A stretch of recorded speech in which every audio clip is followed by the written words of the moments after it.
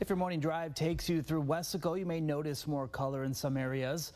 The multi-color LED lights added to the underpass at Texas Boulevard and Expressway 83. The new lights costing more than $150,000. I think there was enough lighting, but I think this is just adds more lighting to the underpass and just to beautify it and just to have some beautification in Weslaco. Those lights were paid for by the Economic Development Corporation. Officials adding the lights will be adjusted for holidays and special occasions.